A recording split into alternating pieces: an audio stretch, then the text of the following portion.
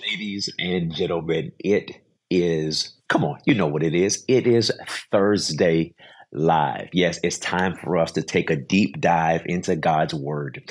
And it's time for us to have a greater awareness and understanding of how to apply God's Word to every area of our lives. I mean, literally, this is the day that the Lord has made. We do rejoice and we're glad in it. Come on. Are you rejoicing right there? Come on. You guys know what to do in the chat. Go ahead and listen. Set the chat on fire with your comments, with your questions, with your thoughts. Come on you know how we do this. We tag a few people who we think this message could be an encouragement to. So I want to challenge you. Go ahead, tag a few people who you don't normally tag. Now, you guys know this is a believers conversation. So on Thursday nights, we're typically delving into matters that pertain to the application of faith uh, for the believer. So uh, tag someone who is a believer and just say, hey, I think this could be an encouragement to you. Is that all right? So we're going to dive into God's word. Uh, we're going to receive our gifts uh, tonight, those who give their tithe and their offering during the Thursday live.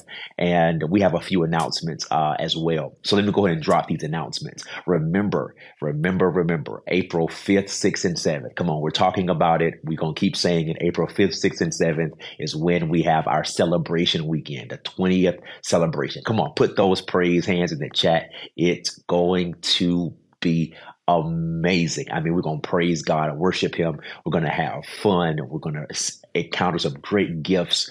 Uh, I mean, it's going to be fantastic. Men and women will come from across the state and some even from across the nation to be with us um, as we celebrate. So, again, get your ducks in a row, get your duckies in a row.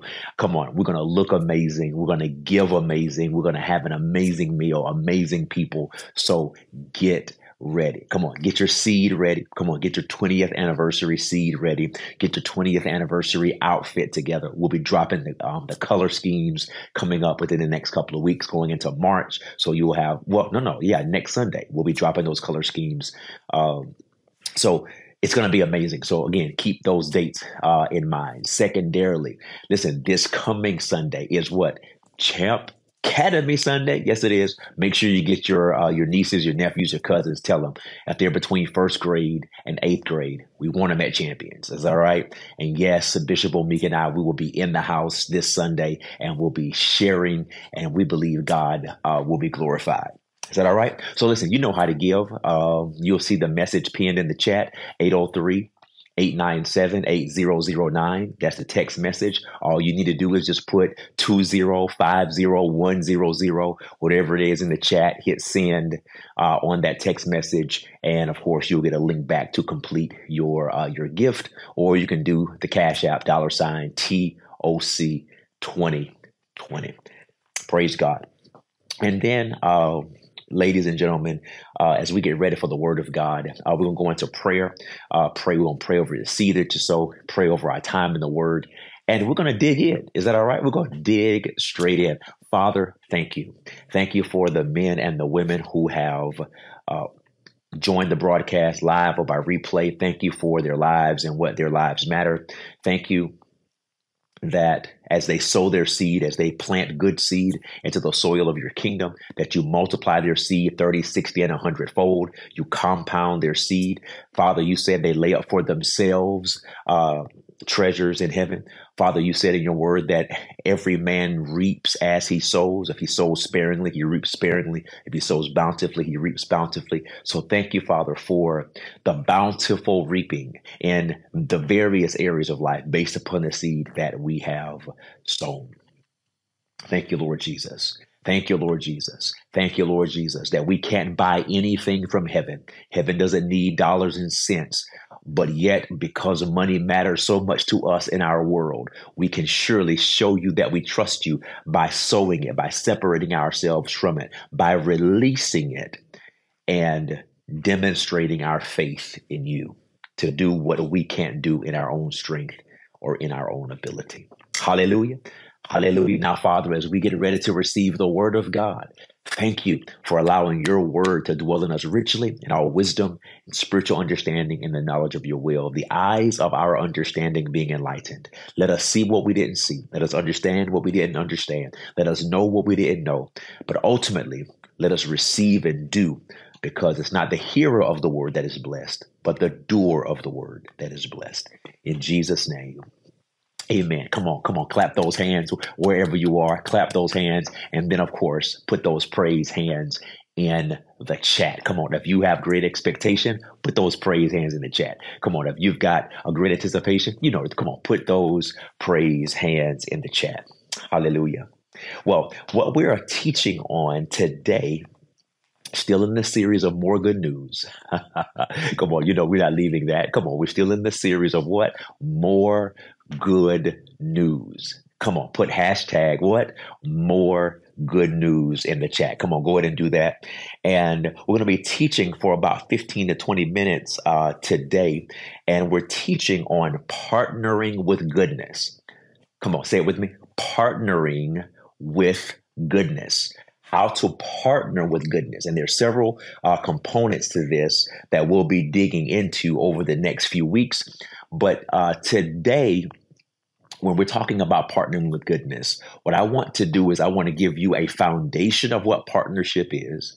And then I want to show you how goodness is the only thing you should partner with.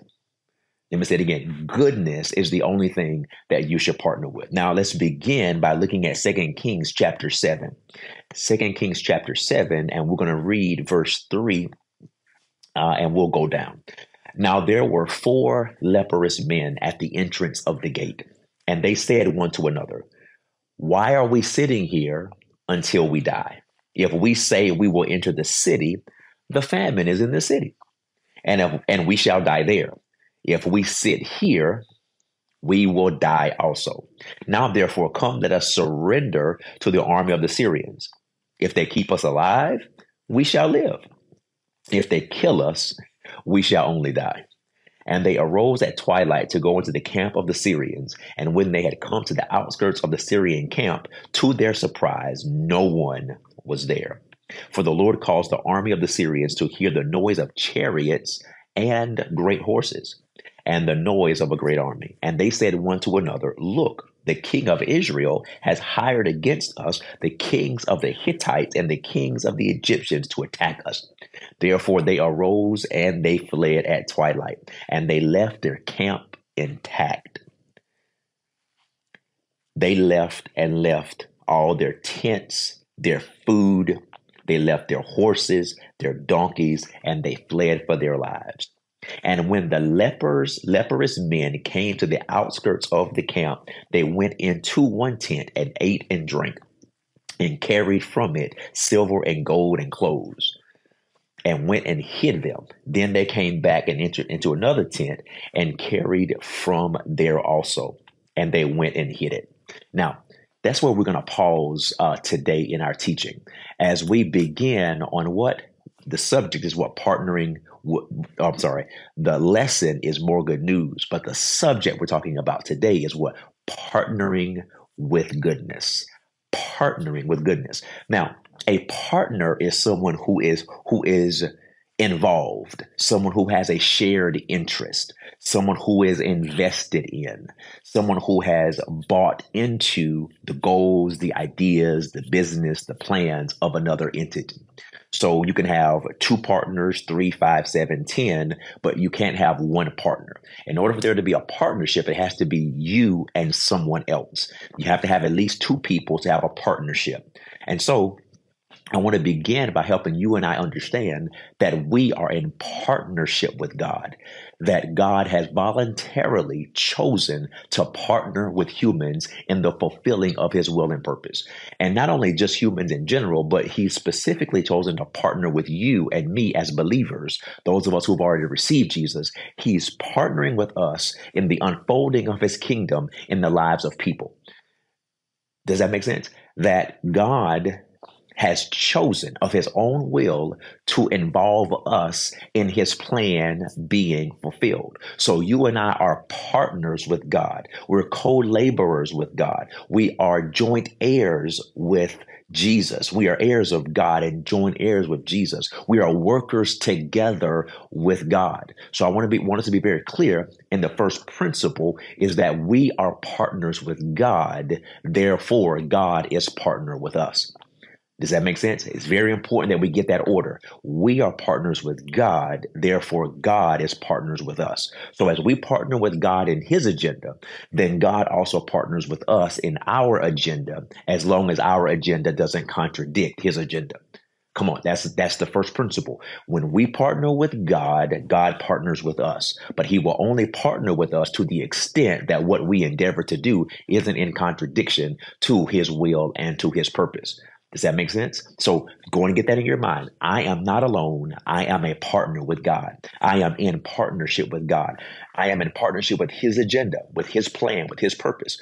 You see, that's very important because He is in, in today's world. Well, what are we talking about? You know, our purpose, our calling, our assignment, our whatever, our whatever. Well, hold on for a second. What is God's purpose? What is God's assignment? What is God's will? See, as you and I partner with Him, He in turn partners with us. That's the order. Seek first the kingdom of God and his righteousness. All things are added unto you. So a lot of times the things that are you desire to see unfold in your life, they're not unfolding in your life because you're trying to get God to partner with you, but you haven't first partnered with God and God's agenda. So that being number one, that we are partners with him and he in turn is partners with us. Now, secondarily, we talked about what? We mentioned that we're partners of goodness. Now, by goodness, I want you to write these things down and get these principles. Goodness, we mean benefit, we mean well being, we mean fruitfulness, we mean productivity, we mean accomplishment, we mean vitality. That when we're talking about goodness, we're not just talking about something random. When we're talking about goodness, we're not talking about something sporadic. No, when we're talking about goodness, we're literally talking about something that that is in the core of a benefit that it's not something that is just you know abstract it's not something well i think it's good you know when something is good or not now understand that God does have a longer term view of goodness than we have of goodness because we're limited by time and space. We're limited by our own experience. We're limited by our own lifetime. I mean, I plan to live until at least 90. Does that make sense? But I'm limited to 90. I can't I can't experience anything past my death. Does that make sense? But God's view is what? Is eternal. He can see past my life, past your life, and past all other lives because the Bible declares he knows the end from the beginning. So, certainly, God's perspective of goodness is far more vast than our perspective. But yet, there are some foundational principles of goodness, and that is benefit, well being, fruitfulness, productivity, prosperity, vitality. Those are those are core foundations of something that is good. Which brings me to my next point. So we dealt with what partnership and we dealt with the basics and the basis of goodness. Now we have to understand with the antithesis of goodness right? We have to understand the opposite of good. Now, in our world, we typically say what good or bad, right? And in many instances, that could very well be the case. That bad is something that is not for your benefit, something that's not fruitful, something that's not productive, something that's not prosperous, some, something that is death or doesn't have vitality attached. Certainly, that could be the case. Um, but when we think about good, I want you to think about it from, from a more biblical standpoint. Remember, bad is still close to the biblical perspective, but the more or the closer perspective is evil. That there's good and then there's evil. And by evil, we're not just talking about, listen to me very carefully, you're going to get this. We're not just talking about an outcome. We're not just talking about a result, or that's an evil outcome or an evil result. We're literally talking about an influence. You need to hear what I just said. That when we're talking about the opposite of good, we're talking about an influence, something or an entity that is persuasive, something that is endeavoring to move something. Does that make sense? I just slid my iPad, right? That means I just ex- exerted influence or power against the iPad to move it to a different direction. Now, why is that important? Because it helps us understand that goodness isn't just an outcome either. It's not just a result. That goodness is also an influence. Come on, write that in the chat. Come on, write it in the chat. Say goodness is an influence. Come on, drop it in there. Come on, come on, type. Come on, get those fingers go- going. Goodness is an influence. Which means there is a force that is at work endeavoring to bring benefit, well being, productivity, prosperity, and vitality. Just as there is an influence that is desiring to bring detriment, death, unfruitfulness, unproductivity, poverty. These are influences that good is not just an outcome and evil is not just an outcome. They are first influences, they are entities. Now, why am I saying that? Because you have to understand, and man, my time is moving, and I have to grasp that, and I want you to get this very clearly that the kingdom of God and the influence of God's kingdom is only goodness. Oh, come on, get that right there. That you and I, we're born again and we're part of the kingdom of God. We are born of the Spirit. We are now part of God's family. We are now members of God's household. We're now citizens of God's kingdom. And the influence that drives, the influence that permeates, the influence that is the essence of his kingdom is goodness. It's goodness. Now, remember, there is in the kingdom of darkness as well, and that the, the influence, the essence, the spirit that permeates the kingdom of darkness is evil. Now, again, when we think about evil, don't think pitchforks and horns and demons the way that we've seen in Hollywood, although that could very well be the case. But that's not the full story.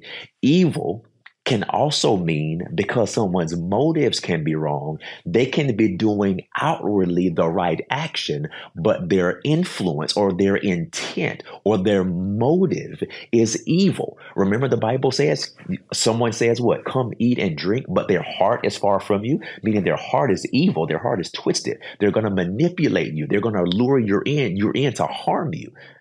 Does that make sense? So we can't just look at the outcome and then make judgments. We have to also look at the influence that is operating behind the scenes. I've said this before and I'll say it again that demons promote people just like angels promote people. That demons influence human promotion just like angels influence human promotion, which means we can't just look at the outcome of promotion and say, oh, look at God. Well, that could be the case or it could not be the case. It's based upon what the influence is. This is why this message is so important. And this is why I got the beginning to, to bring this thing in, is because when you and I are partnering with goodness, we are first partnering with a spirit, an attitude, a disposition, a mindset before we are partnering with producing certain outcomes or desiring certain outcomes. That that when i'm partnering with goodness i am partnering with the holy ghost uh, come on here. When I'm partnering with goodness, I'm partnering with the Holy Spirit. When I'm partnering with goodness, I'm partnering with the kingdom of God. When I'm partnering with goodness, I'm partnering with the mind of God, the character of God. I'm partnering with the nature, the influence that permeates God's kingdom that, that I am invested in. I am joined with. I have a, a vested interest in the outcome of goodness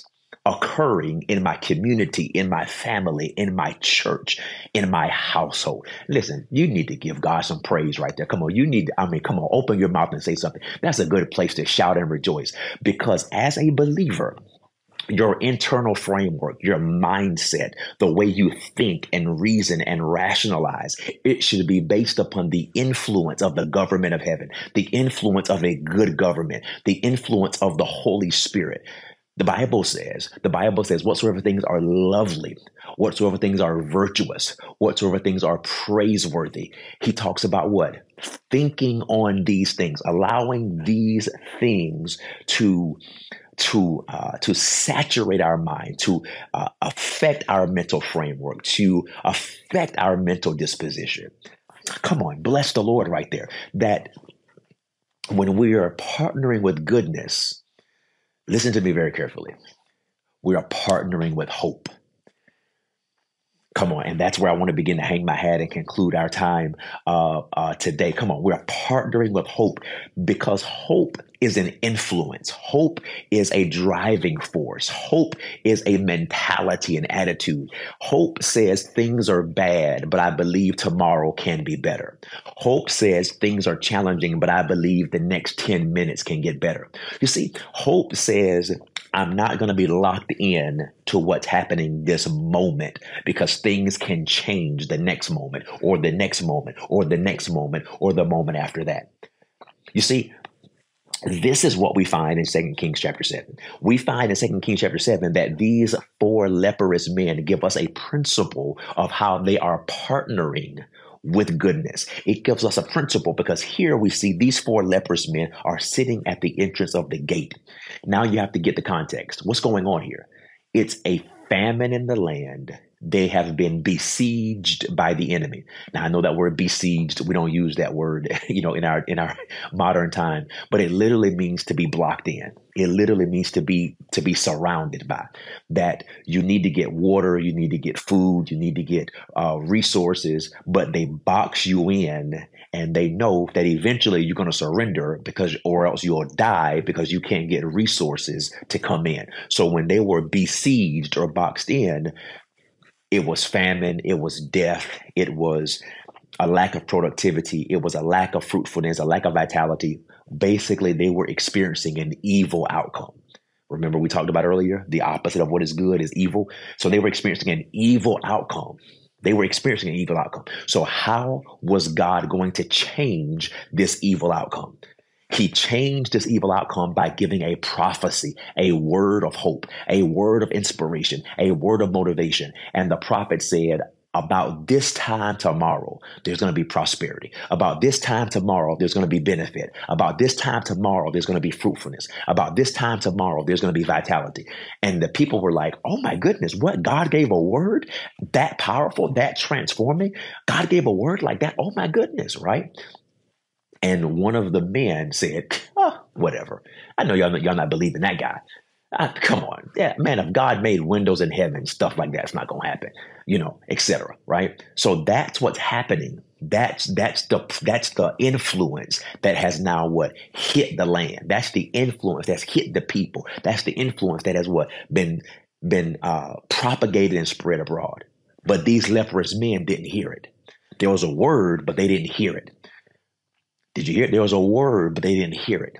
But here they are sitting at the gate, and they said one to another, Why sit here and die? Now I've got to I've got to close this out, but I need you to get this. Come on, why sit here and die? They had three options. They could sit there and die. They could go into the city where there was what? More dearth and death and famine. Or they could surrender to the Syrians. The Syrians were the people who had what? Barricaded them in or besieged them. Now, here's the deal only one of them had hope attached to it. Y'all, I got to get out of here. Come on. Only one of them had hope attached to it. If they stayed there, they were going to die. If they went into the city, there was nothing else there but death either.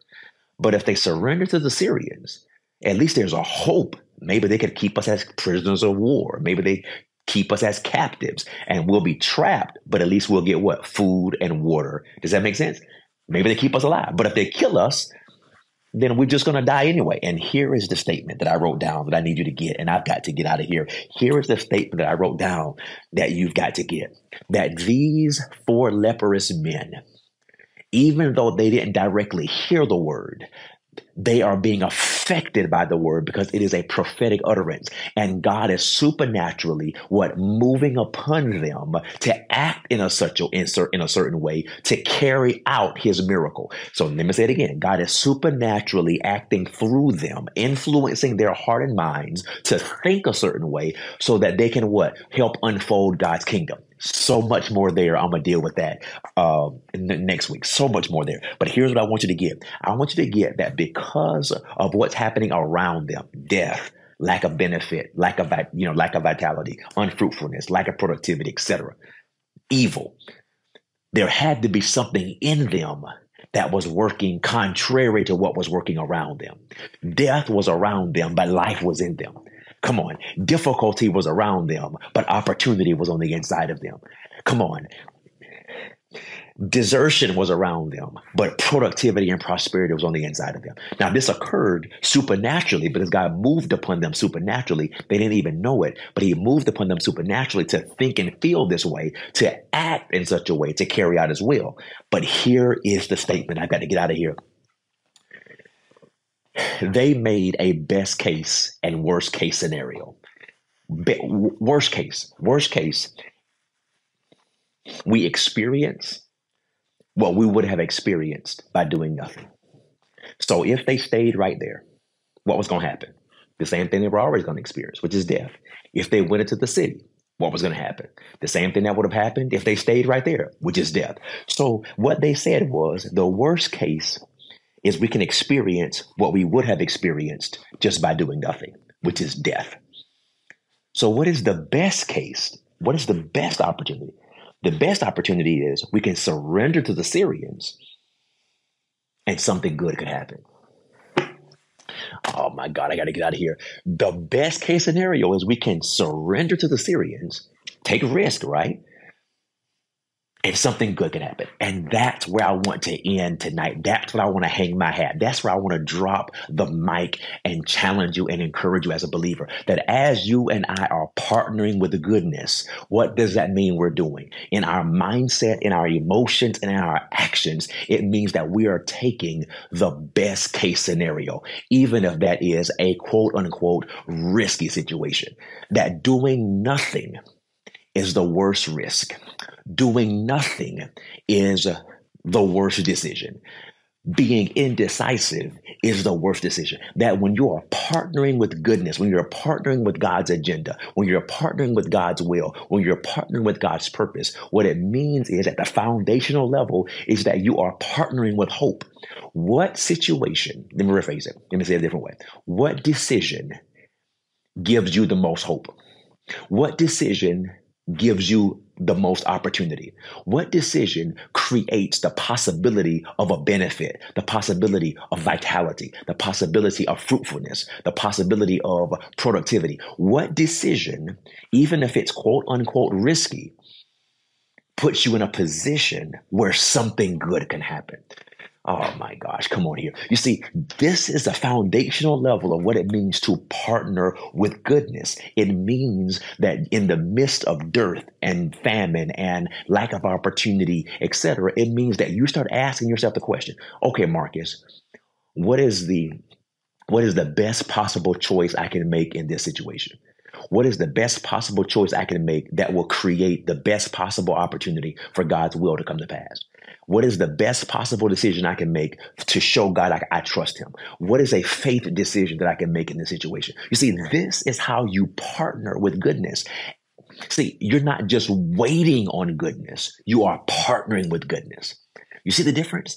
These four leprous men, they were not waiting for something to happen. They partnered with goodness. They partnered with hope. Their action said, I'm going to keep moving. Come on, if I die, I'm going to die in motion. Come on, talk to me here. If I'm going to fail, I'm going to fail in motion. If I'm going to fail, I'm going to fail falling forward. I'm not going to fail standing still or falling backwards. I've got to be preaching to somebody on this digital winner circle. Come on here. That when I'm partnering with goodness, I'm invested in and have a vested interest in the kingdom of God unfolding in my life and in my family. And I'm partnering with the influence of his kingdom, the Holy Spirit, who only influences us towards good, benefit, vitality, well being, fruitfulness, and productivity. I'm partnering with the Holy Spirit. And then practically, my soul and my mind is shaped by goodness in such a way that I am making decisions that create the best possible scenario, the best possible outcome for God to show up and move in my life. That very few times God tells you to stand still. Most of the time, God is telling you to take courageous action. That could mean forgiveness. That could mean going to the doctor. That could mean apologizing. That could mean walking in humility. Do you see what I'm saying? But it means you're taking steps that create hope. I mean, practically. You and somebody are at odds. You're waiting for them to come and apologize to you. What's the courageous thing? Go and initiate that reconciliation. See, if you do nothing, nothing can occur. But when you're partnering with goodness, which is partnering with hope, you are making a decision that says, I'm going to move forward and I'm going to create a situation for heaven to get involved by doing what? By partnering with hope. And we're going to dig even more into these four leprous men, and we're going to dig into it on Sunday, and you're going to see how it relates to family and parenting. And I believe God's going to continue to work miracles, signs, and wonders in our lives. Oh, hold on for a second. Hold on for a second. You know what? Now I'm gonna wait. I'm gonna I'm gonna share that on Sunday. I'm gonna share it on Sunday. Yeah, I'm gonna share it on Sunday. You say, "Oh, Bishop, don't do that." No, I'm gonna share it on Sunday. Come on, share it on Sunday. God bless you. God bless you. God bless you as we partner with goodness in Jesus' name.